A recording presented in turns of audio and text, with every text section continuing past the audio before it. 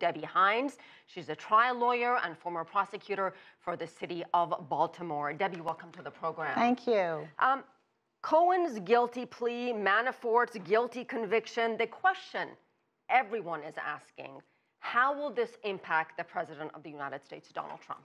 Well, it's already impacting him, even though he doesn't want to say that it is. But if I were Donald Trump, it's like someone breathing very heavily down your neck. That's how close Robert Mueller is to him right now.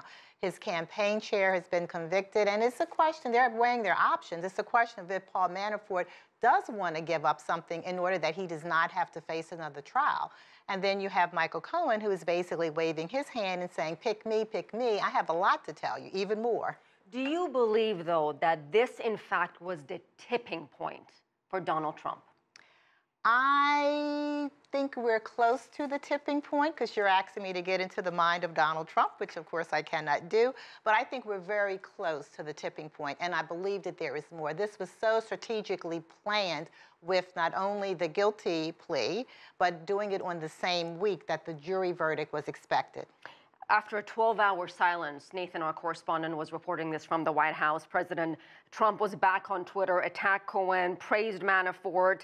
Um, what do you think the White House strategy is? And again, I don't want you to put yourself in the White House mindset, but is it basically to portray one man as a liar, the other as a victim?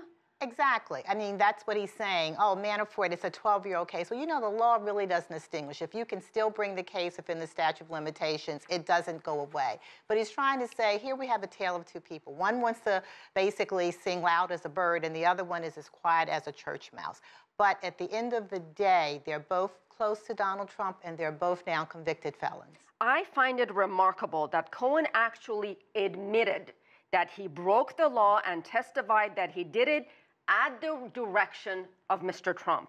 The president has suggested here, oh, campaign uh, finance violations, they're not a crime, no big deal. Well, they're acting like a campaign finance violation is like jaywalking, getting a ticket for jaywalking. But it's not. But it's not. It's absolutely not. And that's why Michael Cohen, for not just for that charge, but for the other charges it counts that he's pled guilty, he pled guilty and is facing five years in prison. So it's not like a little a little teeny tiny something. And the fact that he has said that the unindicted person who was running for presidential office is the one who told him to do it, that makes um, Donald Trump be a co-conspirator.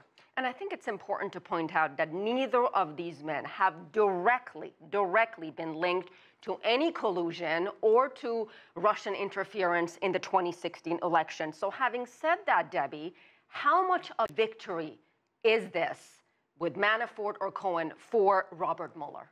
Oh, it's a huge victory. I mean, it would have, looking at it at the reverse, it would have been, I would have been tremendous if it had been an acquittal on all 18 charges. The prosecution doesn't care. I'm a former prosecutor, whether it was eight charges that he was found guilty of, 10 charges, he was found guilty and is facing 80 years. So it is substantially.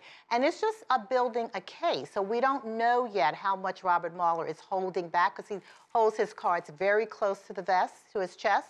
So we don't know yet, but I tell you, I think that there's a lot more to come. And very quickly, do you believe the President of the United States down the road will in fact be impeached? I think we're heading in that direction. I think that there has already been enough for him to be impeached if the Republicans had done anything with respect to it. All right, we'll leave it there. Debbie Thank Hines you. answering some very tough questions. Thank, Thank you, you so much.